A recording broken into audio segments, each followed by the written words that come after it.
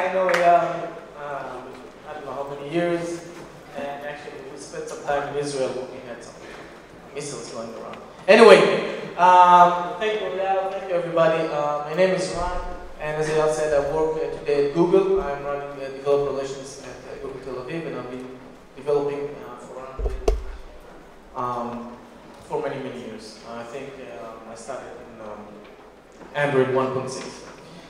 Uh, today's talk is about performance. Uh, see, you know, we can do a lot of stuff with our phones, right? We can throw um, birds or pigs. Uh, we blow bubbles. I hope you're not doing that right now. Um, we can navigate. We do a lot of stuff. And sometimes we actually, we forget that our cell phones are limited devices, almost embedded devices. Think about it. We have limited connectivity. We have limited memory space. Uh, we have um, CPU. It's expensive. We don't have endless number of uh, CPU cycles we can spin. And most important, um, juice to power all, all that. Battery. Battery is a big, big issue. Today I'm going to talk about uh, these four um, things, memory, CPU, battery, networking, and trying to help you uh, build better apps uh, that will perform better. Uh, and I would like to start with the uh, most critical one, in my opinion, battery. Now, at Google, I want to share with you um, uh, a recent research that we've done. We spent millions of dollars on this research. Uh, we learned that uh, when the phone dies, there is no battery, uh, the user is less likely to uh, use any apps on it, including yours. Okay? One guy got it. All the rest of you, get out. You stay. Um, okay, so yeah, you should care about battery because when the phone uh, battery runs uh, uh, runs dead, the phone is dead. User can't do anything without it, and everybody loses. Um, and another thing is that when users see that uh, a specific app is draining the battery, they will uninstall it. Because every user will rather have some active phone, phone that can actually do something with, than have your app. So we're going to talk about battery. See, battery, it's a, it's a tricky part because it's a give and take. On one hand, we want to do stuff. On the other hand, the more stuff you do, the more battery you drain. So it's a give and take. Um, and there is a great um, research by a university that I always forget its name, uh, Purdue University. Uh, they they uh, looked at um, the top uh, 100 apps, Google Play, and they check what apps are actually doing that consumes energy, that drains the battery. What, what things that they do, uh, they actually uh, use the battery, where the energy goes. And they learned that only 25 to 30 percent of the energy goes to uh, core functionality of the app, like navigation or reading news or getting uh, sports scores or whatever. The rest, 70 percent of energy goes on things that are not the core, uh, the core functionality of the apps, like uh, downloading ads to display, doing uh, massive location updates, um, periodic updates, and, and, and whatnot. But these are not the reasons that you downloaded the app in the first place. So um, the best tip that I can uh, give you in terms of battery, um, yeah, okay. Think why the user downloaded your app and focus on that job.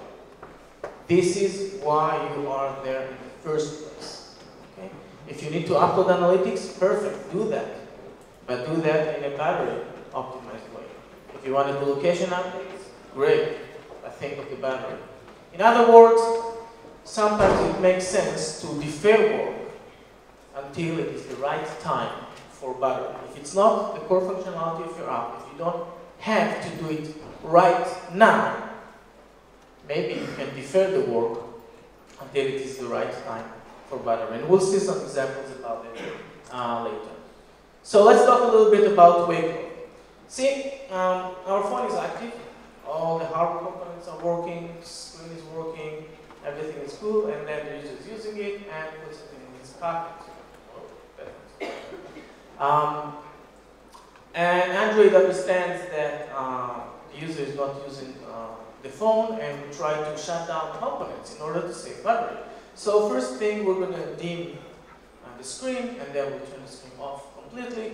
And if there is still not using um, the, uh, the phone, uh, the phone will actually go into sleep mode where we actually turn off uh, additional uh, peripheral components. And in Marshmallow, we added another mode, Doze which is like deep sleep, half sleep, okay? Um, but still, sometimes even if the user is not using the phone, and the phone and Android goes to sleep mode, apps do need to do some work. Maybe some background update, or maybe you want to do something, or maybe you're running into a very critical uh, piece of code and you want to prevent the system from going to sleep because you have this is critical code and you have to, uh, to make sure that um, you will finish processing it. And that's why we have wake lock. Wake lock API is pretty similar, uh, simple API. Anybody here used wake lock? Okay. Uh, so basically, uh, you use Power Manager, wake lock API, uh, you require wake lock, tells the Android system, hey, wake up, I need to do something or it tells the Android, hey, I'm doing something very important, don't go to sleep. Um, and uh, uh, it's very easy to use. But the tricky part is not acquiring the lock. The, tricky part is releasing it. So let's say you've acquired the lock because you want to do some fancy job like image processing or uploading something into your server. If everything goes, goes well, you will do the job, finish it, and release the lock, and everything goes great. But what happens if suddenly that fancy uh, image processing algorithm, instead of taking, I don't know, 150 or 200 or one second, takes 10 minutes? What happens if uh, the server has, is having some uh, difficulties and suddenly you're waiting uh, forever for an answer that will never arrive? Or maybe there was an exception in your code, maybe you caught it, maybe you didn't caught it. Maybe you caught that exception, but you never released it in the way. There are a lot of paths in the code that could happen. And if you would acquire a lock and you never release it, basically it means that the phone will never go to sleep, and that's bad. And that's why when you want to uh, acquire uh, a wake lock, I would highly recommend not just calling wake lock acquire, but calling the API that actually gets a timeout attribute parameter. And regardless whether you release it or not, once that timeout expires, your wake lock will be released automatically. Okay? Another uh, nice trick, um, think about it this way, deferred work. Uh, let's say my app wants to do some work 15 minutes from now. But there is another app that wants to do some work 20 minutes from now. What if we could tell that uh, to Android and tell it, hey, I want to do something 15 minutes from now, but if there is another app that wants to do some work around the same time, why don't you wake us both together? And we're going to do the job together, saving a lot of energy. And this is exactly what uh, inexact timers do. They basically tell Android, hey, I want to do work in 5, 10, 20 minutes from now, but Android can delay the work until it's, uh, it's the right time for battery and that's good. So, to sum it up, release wake lock and batch wake-ups. Now let's talk about networking, which is something which is very close to my heart. Looks familiar? Who used All right. I'm glad everybody is. Um, so if anybody is using it and doing it, what's the big deal? I mean, accessing the network is commodity, right? Everybody's doing it here in this room. Um, well, it turns out that our wireless phones are wireless. Okay, uh, they don't have uh, any wires them, and in order to communicate with the base station, they use radio frequency.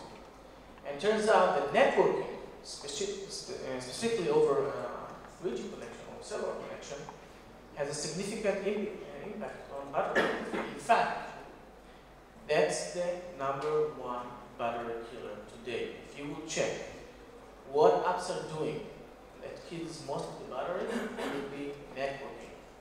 Not GPS, not screen, not CPU, nothing. Will be accessing the network. And the main reason is that it's something that everybody is doing.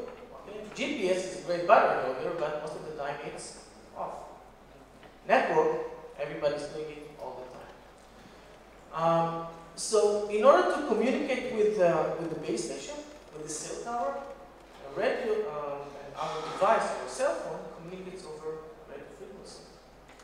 But frequency is a limited resource. We just don't have enough of it. It's a physical thing. It's not a logical resource like IP addresses. We're running out of IPv4. Let's create IPv6 and boom, we have another huge address space.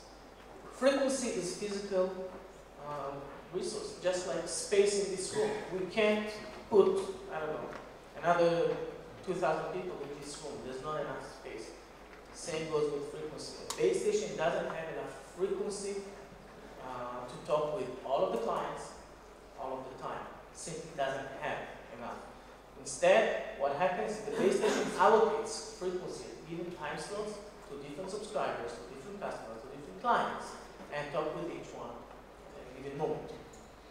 Now, a lot of um, uh, techniques have emerged in the past years trying to optimize the way we talk with a specific customer, with a specific cell phone at any given moment. Basically trying to get more bits per hertz. Um, the latest are OFDM and OFDMA that you probably know as LTE and, and 4G.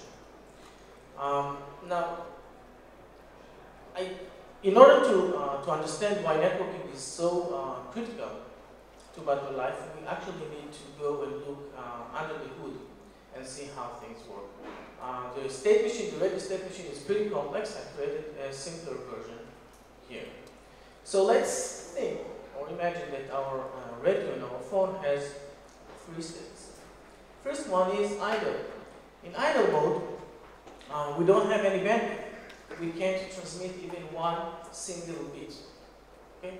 No frequency is allocated to us, but we're not using any power or very little power. Let's say the user opens an app and our app wants to send something to the internet. We need to get frequency. Uh, the base station moves us from idle to DCH. Now DCH stands for um, dedicated channel. Dedicated channel, basically what happens is that the base station allocates frequency in a constant manner on a periodic interval to the to our cell phone. We get constant frequency like a clockwork all the time. In that mode, again, just to be schematics, we have high bandwidth, but we use a lot of power because transmitting requires power. So uh, we got the frequency, we are in DCH mode, everything is cool, and we've done, we finished, uh, we don't need that much bandwidth. The base station will drop us to FACH mode. FACH mode stands for um, forward access channel. Basically, in this mode, the base station will still allocate some frequency to the cell phone, but uh, not in a constant manner. Not just before we get, from time to time, we get a frequency. Again, it's a simplified, very extremely simplified version of uh, what's going on. Let's say that we have half of the bandwidth and we're using half of the power. Once again, we're done. We don't need even that bandwidth. We go back to idle mode. Basically, all our phones here are now in idle mode. Now, those transitions are pretty expensive. First, they take time. So moving from idle to DCH, before you were able to transmit the very first bit, user will need to wait about two seconds. Again, depend on the network, depend on the base station, depend on the configuration, uh, depends on a lot of stuff, but it's around, around two seconds. Moving from DCH to FACH uh, has a tail time of 10 seconds. So it takes network about 10 seconds to understand that, hey, we're allocating frequency to that guy over there, but he's not really using it. He doesn't need that much bandwidth, so we can move that frequency somewhere else and move that guy to FACH. Um, that's expensive. And we have another tail time from FACH to, uh, to idle, which is 45 to 60 seconds. Again, it really depends on the network and depends on, on, on the configuration. Now, those tail times are extremely expensive, and they hurt us in so many ways. First, uh, they are a big problem to the AT&T, Verizon's, and Orange, because basically, here is a frequency that we're allocating to a customer, to a cell phone that doesn't need it we could use it somewhere else. And frequency is expensive, as I said. And second, in cellular networks, there is no such thing as quiet. Meaning that if the base station is allocated frequency to my cell phone, and my cell phone has nothing to transmit, it will transmit random bits of ones and zeros. There is no such thing as frequencies being allocated and not being used. Okay? a lot of reasons why, why it's like that. But that's pure energy that we're wasting. So another thing that we need to remember is that the data costs money to our users. Okay? Someone is paying for those bits. It can be the cell, the cell, uh, cellular service provider that charges the user eventually for it, or the user directly being billed based on his quota. But those bits cost money. So the golden rule for networking is less radio time and less data. These are the two principles that if you need to take something from today's talk, let it be this. Um, it's easy to say. It's pretty harder to actually do that because when you think about it, we have tons of transactions in our apps. And we've got uh, network transactions happening on background thread. I really hope you're running your network on a background thread. Um, and it's very hard for us to uh, say right now, hey, how many uh, threads are working, how many network requests are happening, what happens with them, and profile them. It's kind of fun. So I'm trying again to simplify it, and let's try to uh, categorize our network requests to uh, three main buckets. The first one is the user asks us for some piece of information. We clicked on that article. he scrolls uh, the news list. He's doing something and we need to go and fetch data to present to the user. These are things that we need to do right now. Second batch is all those small data updates that we need to do uh, while the user is using our apps, like analytics, like location updates, like those small updates, maybe keep alive process um, messages. Those small updates that happens um, when the user is using our app, when the app is in foreground usually. And the last bucket is all those big data that will usually happen in the background. Those could be like um, uploading a bunch of photos or syncing your email, Gmail, or your contact list. Stuff that are not uh, usually larger payloads and we don't really have to do that. Right now we usually do that in the background.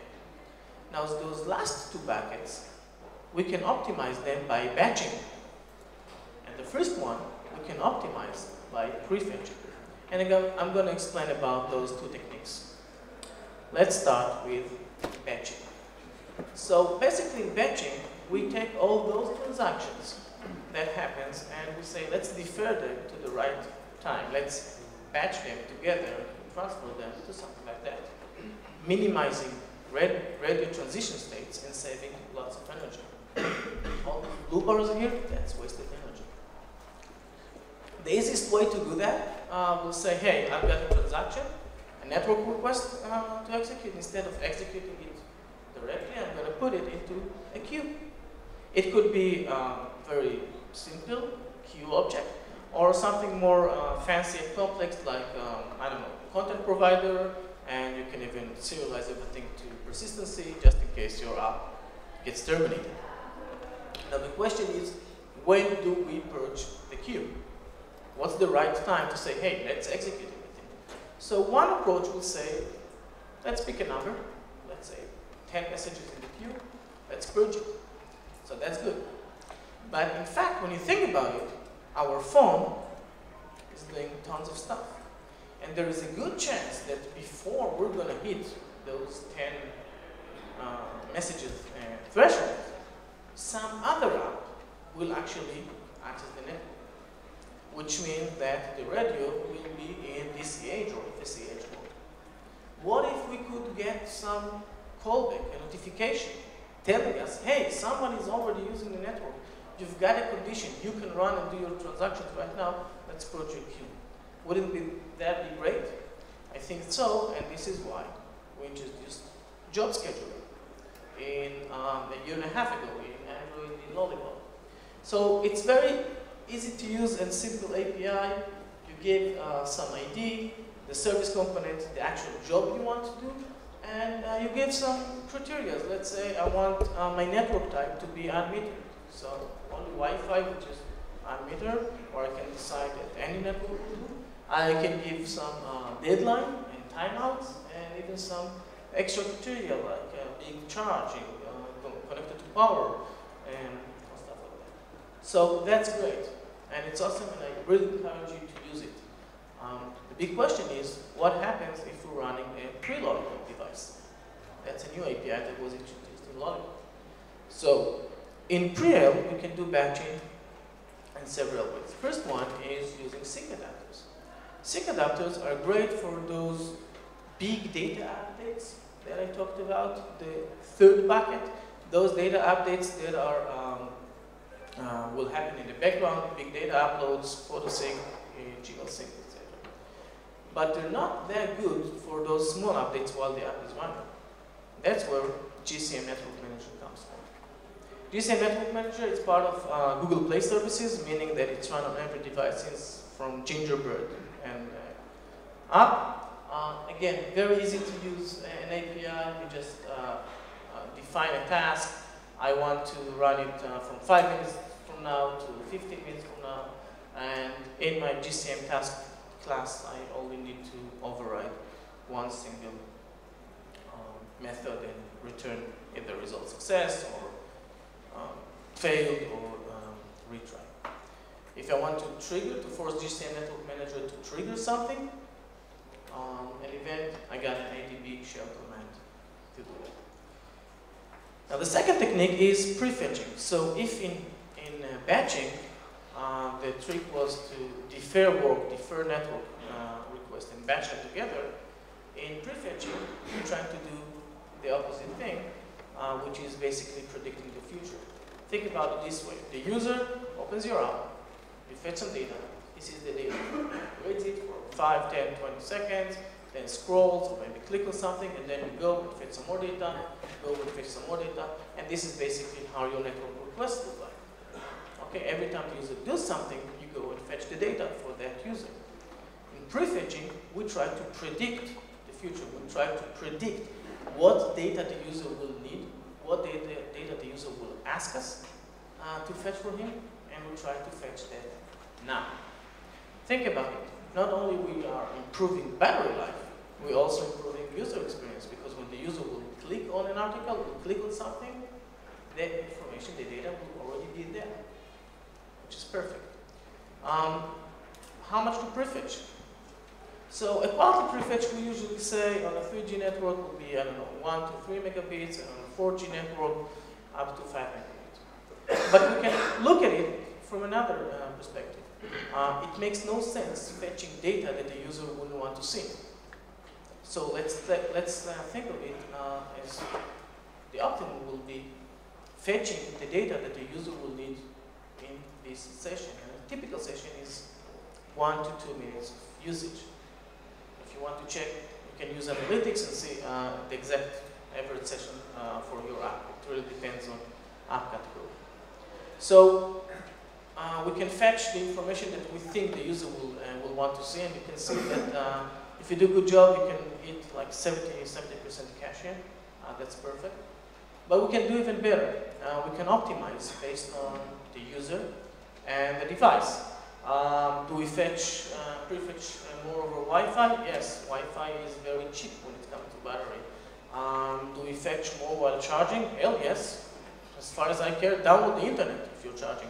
Um, uh, what else? Uh, while the user is walking, we can detect that the user is walking. We have an API for that.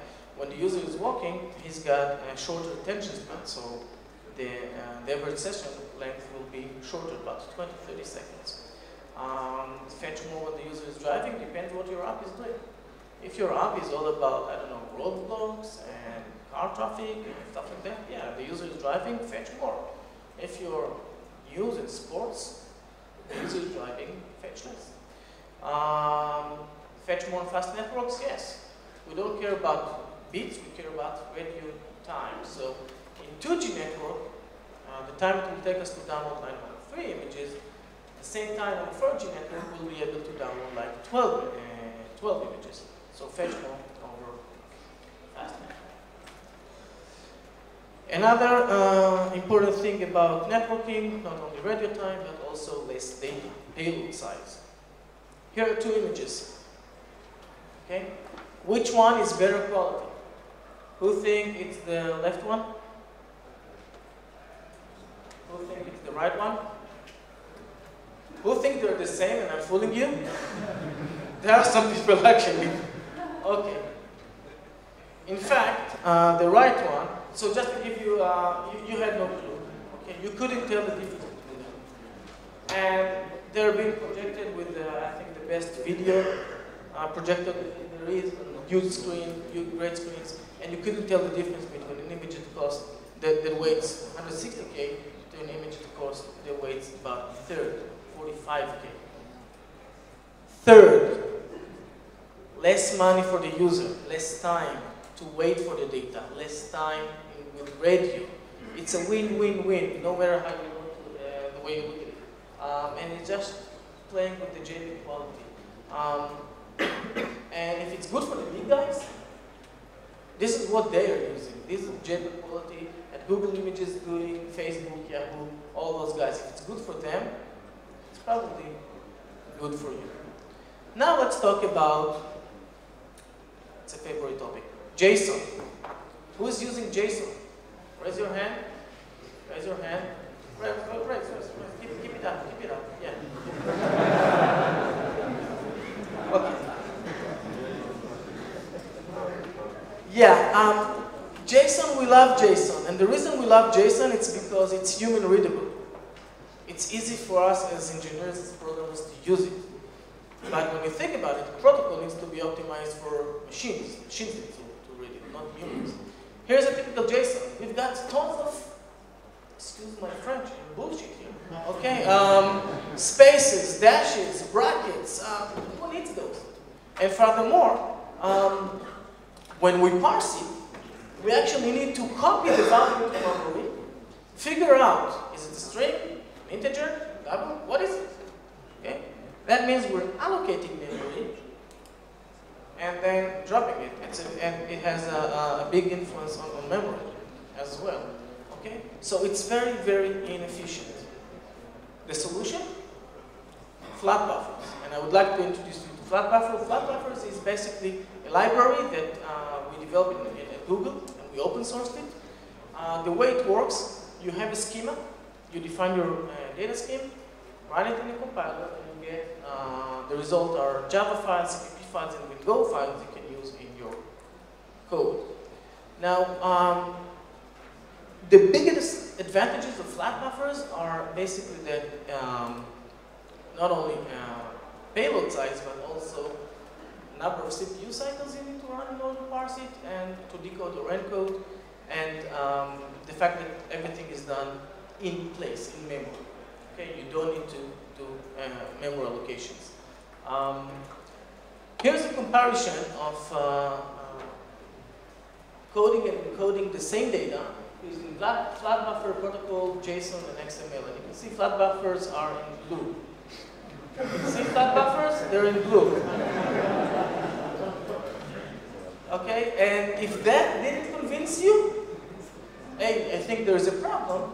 But uh, Facebook, uh, about four months ago, uh, they changed to flat buffers and they wrote an awesome blog post on, on how flat buffer improved their, um, their performance. Uh, I really, really, you know, I really recommend you to go and read it. They've done an amazing job writing this blog post. I'll give you the TLDR. Uh, parse time reduced from 35 milliseconds to 4 35 milliseconds to 4. That's huge. That means that instead of losing two frames every time you parse something, you can parse while the user is scrolling, plus uh, some lot of um, enhancements in memory usage. So, uh, performance tip number four, uh, smaller data wins the internet. Guys, less data, less data. Okay, memory performance. I know I wanted to say something about it, but I really forgot. So uh, a here's a typical uh, heap size in our uh, application. So we allocate the object, we get memory allocated. And uh, every time we hit a threshold, a GC will occur uh, to release some uh, memory for us. now, the thing is that when garbage collection runs, everything else stops, including your arm. Which means that if we need to update the screen while the GC happens, we're losing a frame and the user see those hiccups, those jumps, those little, mm, something is not right there. And this is why we really want to uh, care about GC and minimize those. GCs are great for memory management uh, languages, but we just need to be careful we don't uh, stack them together inside a single frame or such, because then we will suffer from performance. So, garbage collection, it's, it, uh, it's preference. Um, let's talk about the biggest issues with garbage collection. I'm going to speed up because I'm running out of time. Um, bitmaps.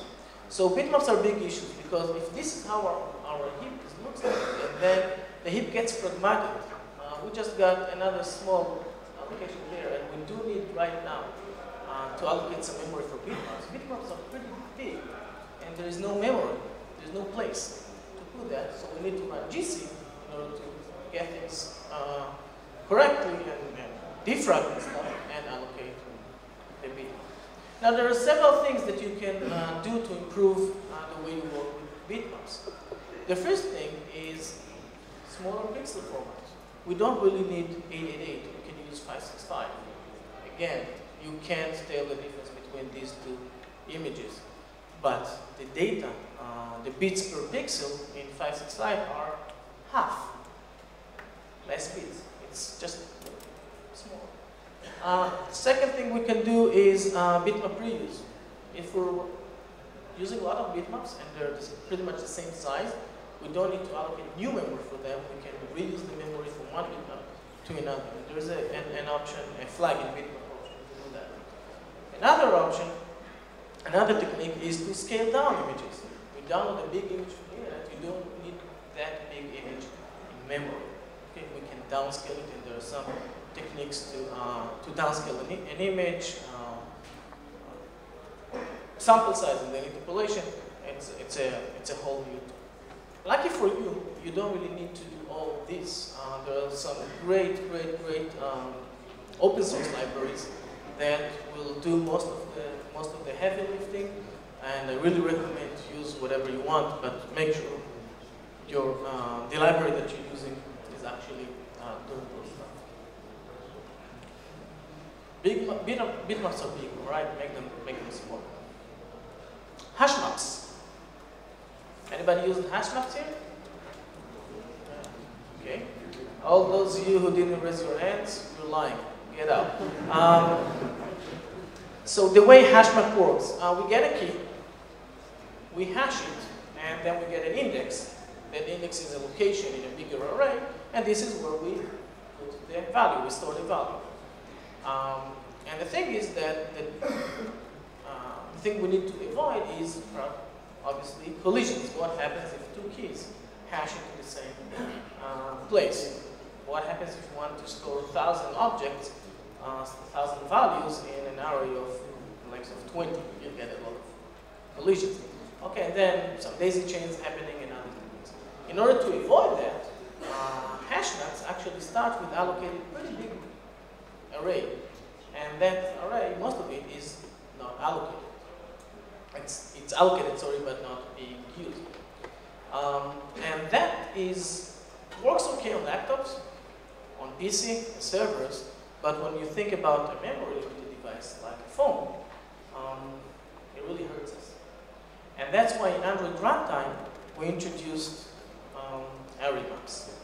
So array maps are basically, uh, they offer the same functionality, the same API like hash maps, but they work differently uh, behind the scene. Instead of using one big array, we use two small arrays, and we have uh, reduced memory foot footprint dramatically. So the way array map works is that we have one small array where we store the, uh, the hash keys in a sorted way. And each key uh, points to uh, another array, the location in another way where we store the key and the value, the key and the value in an interval uh, way. Okay, again, the same order as they are stored here. So when we uh, want to uh, fetch something, okay, we have the key, we hash it, and then we do a binary search on the first array to find the index. And once we find it, we can look uh, directly in the second array uh, based on location. We have, we have the index immediately. Basically what happens here is um, that we trade off memory for CPU. So operations like storing, uh, storing data, fetching data, um, uh, uh, cost us a little bit more, but uh, we, uh, we really improve memory. So if we don't allocate we used an array map, but we didn't store anything, we're not allocating every single byte compared to hash map. So there is a trade-off, trade-off between CPU and memory. And the big question is when to use which. Um, so if you have, uh, you need uh, to store a map with dozens of objects, values, or hundreds of values, up to a thousand, array maps are good for you because the, the overhead in CPU time neglected. You can forget about it. Another thing that we uh, often do is storing maps of maps, where each map has very small uh, footprint. Um, again, array maps really, really, really make sense here. So use array maps in the right places. Auto boxing. Okay, that's another memory problem. See, in Java, we've got primitive types like int, boolean, float. They are the representative of uh, the IEEE standard. But we also have objects, boolean with the big B, integer with the capital I, and float, which are objects. They're not the same thing. Let's take a look at this simple life uh, code line. Um, value equals zero. So that's a primitive integer, but that's an object.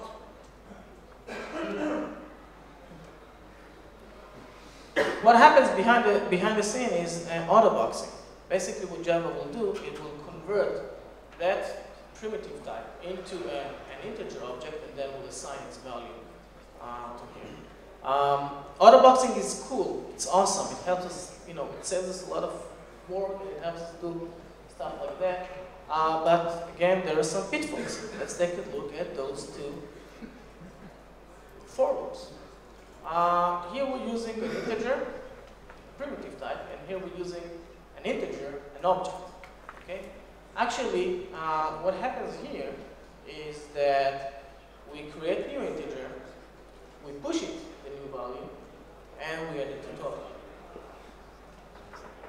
And the big thing here is create new integer. We allocate a lot of objects during this flow.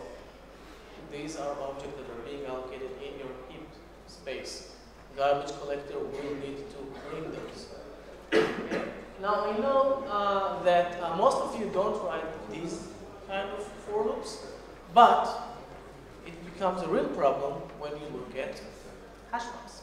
Because usually what we do, we do uh, hash maps, and here we're going to get an integer, which is an object, not a primitive int, and we store an object.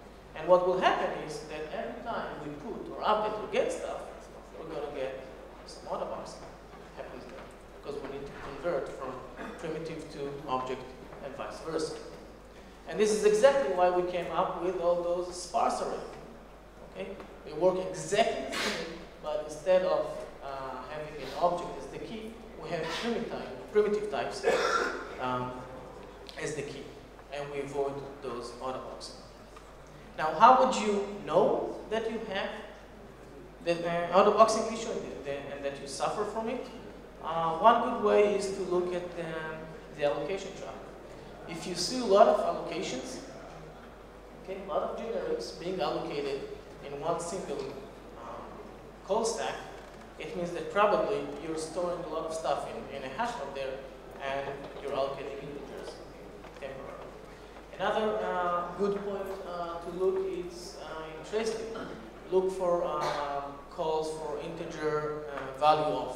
This is what happens during autoboxing. Okay, you see a lot of those. A lot of objects that are being allocated um, temporary just to do this conversion from generic to, um, to primitive and vice versa, and then garbage collection. We need to, uh, to clear those. So avoid autoboxing. I think we have five minutes for Q&A. Awesome. No? Okay, we have five minutes for Q&A. Questions? Yeah.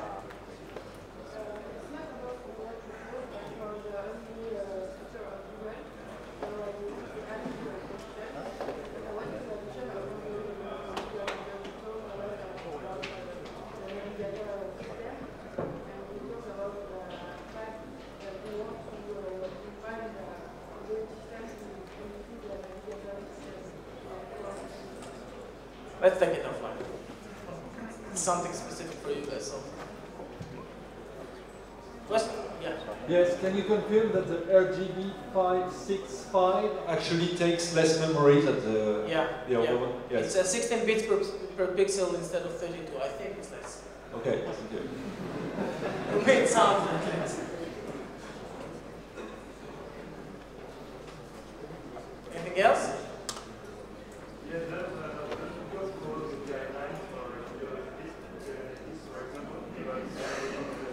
Yeah. So for Google Analytics, our recommendation now is uh, to have a timeout for batching of 30 minutes. So upload your analytics once every 30 minutes.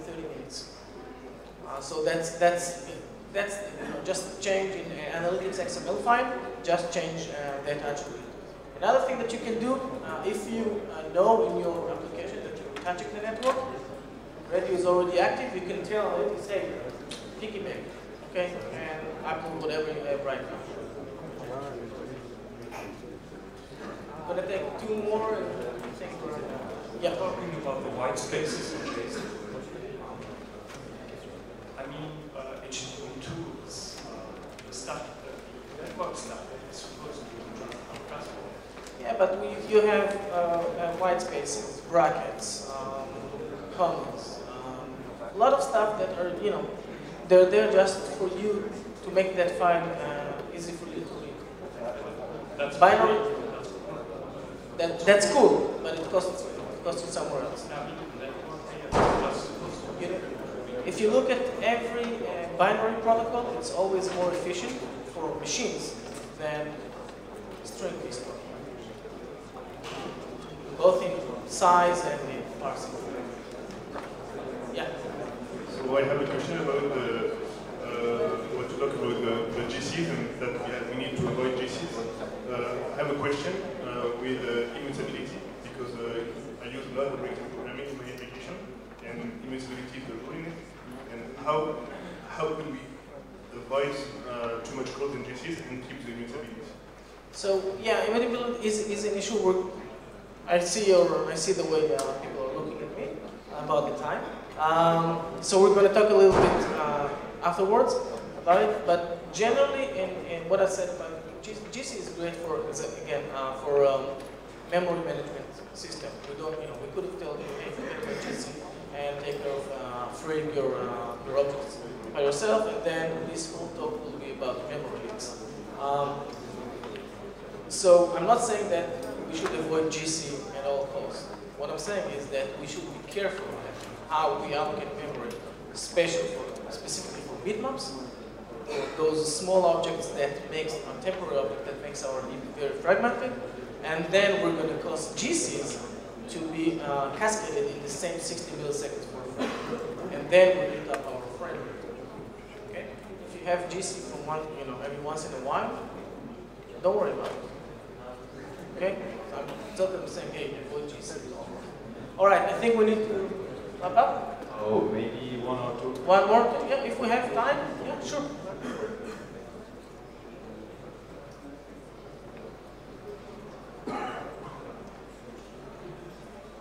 Uh, is there a difference uh, in size between a serialized protobuf and a serialized uh, flat buffer?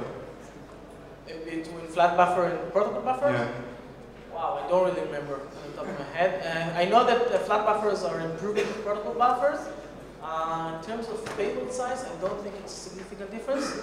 Um, the big difference is in uh, the fact that uh, you do all the uh, decoding in place, so you don't allocate, you allocate basically zero more bytes.